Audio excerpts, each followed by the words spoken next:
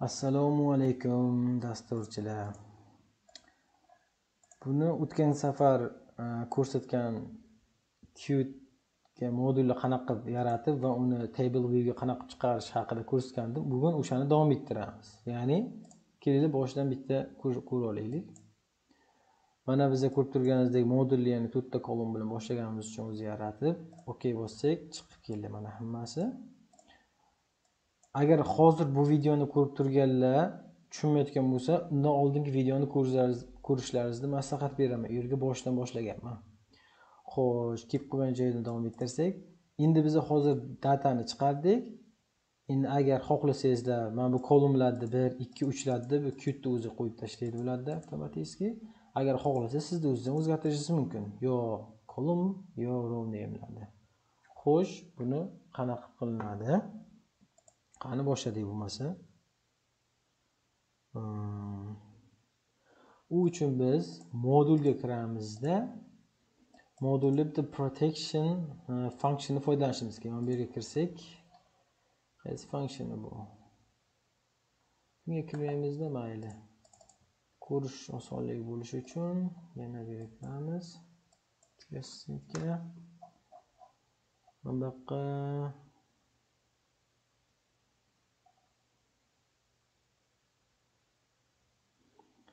mana bu yoqqa header data degan narsa bu. Bu abstract function ya'ni nima emas buni foydalansak foydalanmasak ham bo'laveradi. Mana buni.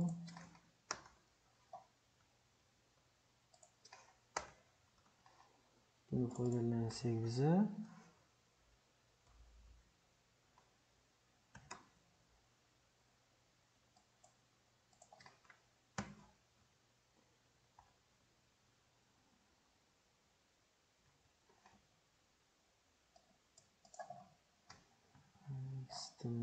system datadan keyin qilaylik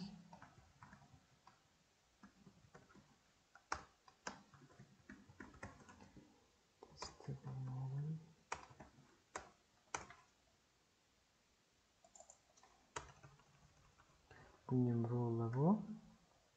Birinchi navbatga bizga kerakli nima qilamiz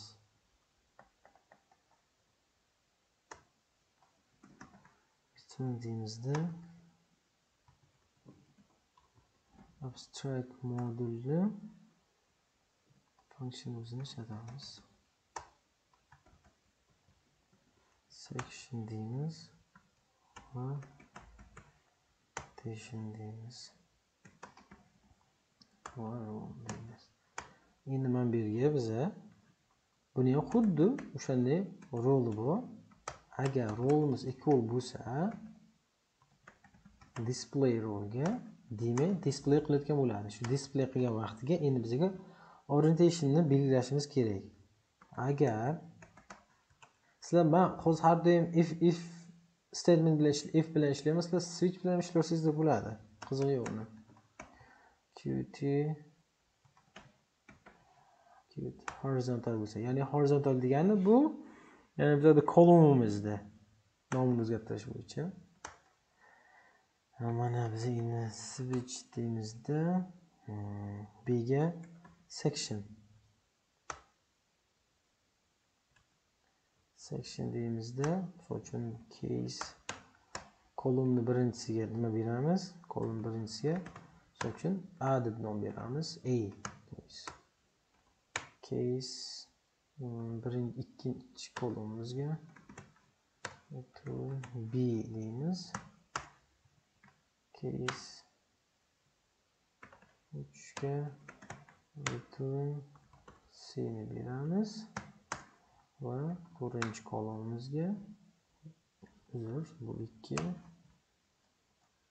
bu uch d ni beramiz. Kolumn nemlar bilan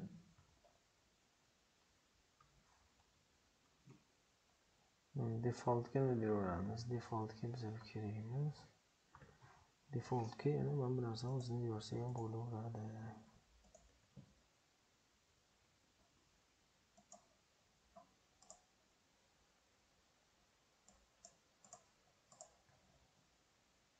Hmm.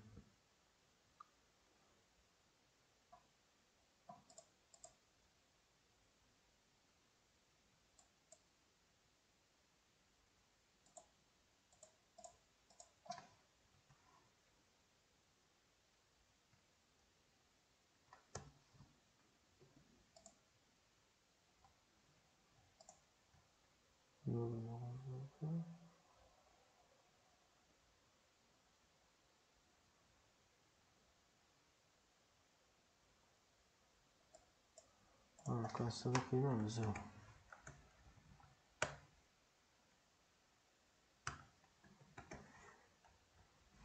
Mana bo'ldi. Bizga hozir kolumnlarimizni belgilab chiqdik. Yana Ctrl Shift B ni bosamiz. Ctrl Shift B ni bossak. Success bo'ldi. OK bosamiz. Ko'rdingizlar, kolumlarimizda A, B, C, D. A, B, C, D. OK bosamiz, mana kolumnimizning nomi o'zgardi. Endi biza row dikini o'zgartirmoqchi bo'lsak, row dikini o'zgartirmoqchi bo'lsak, misol uchun kopiya qilamizda. Misol uchun buni vertical vertical vertikalga qilamiz buni. Endi misol uchun hmm, buni row 1 row 2 row 3 row 4 va hokazo. Yana bitta belt qilamiz.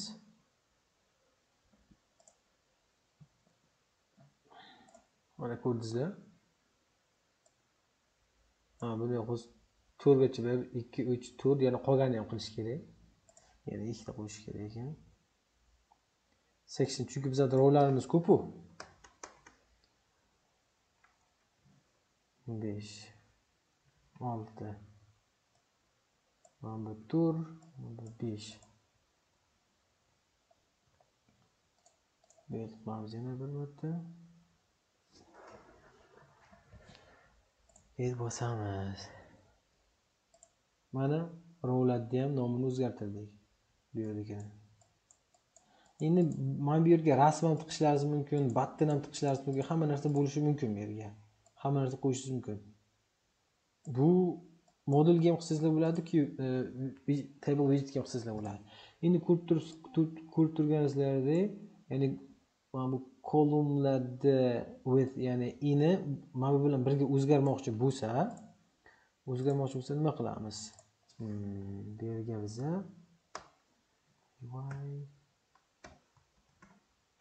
deymizda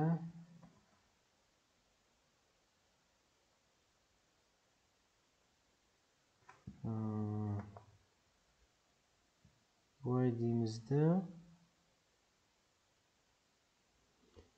buni tanlab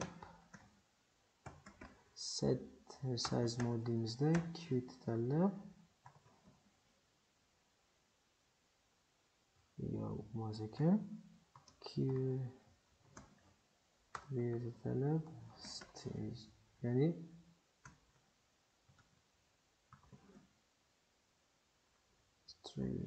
degani bu mana endi yana bir belt qilib olamizda. Mana. Okey bo'ldi. Mana ko'rib turganingiz birga yuradi endi. Kolon bilan birga yuradi. Stretch bo'ldi hozir bu. Endi agarda sizlar buni rollarni o'zgartirishlaringiz mumkin. Hozir bu yerga rangi oq. Keling rangini o'zgartiramiz. Rangini o'zgartirishimiz uchun modulga kiramiz. Modulimizni yana o'zgartiramiz modulimizni o'zgartirgandan keyin mana mana bu yerga hozir bizga display rolida. Endi biz mana bu yerga nima qilamiz? Agar row equal bo'lsa background rowga bo'lsa bizaga nima qilsin? Misol uchun hmm, a a b c d kolumnlarimiz boru. O'shani misol uchun switch deymizda switch deymizda birinchi kolonimizda misol uchun yo'q indeksni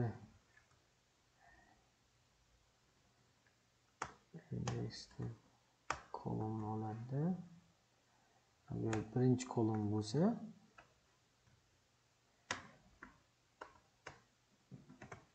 return deydi misol hmm, uchun q color deb birinchi misol uchun ko'k rang bersak.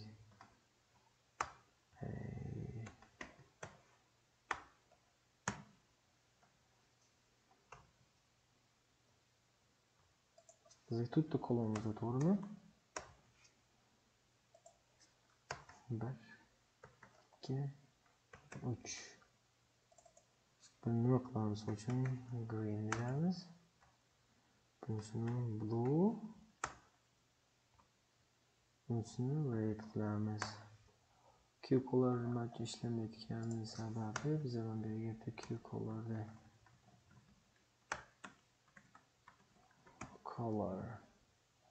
Ishlaydi kod tugatilib delete qilamiz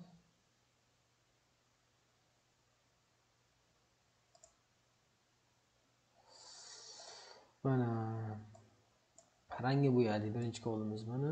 Ikkinchisi green blue red kolorlarga ko'k yashil e, och ko'k ko'k yashil qizillarga bo'yab chiqdik mana.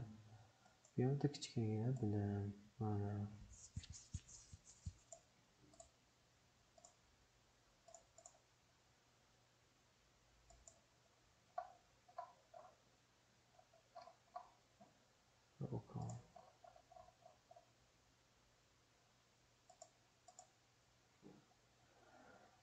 Mana hozircha shulardan iborat edi. Bugun ko'rsatmoqchi bo'lgan narsam shu edi. Rahmat salomat bo'linglar.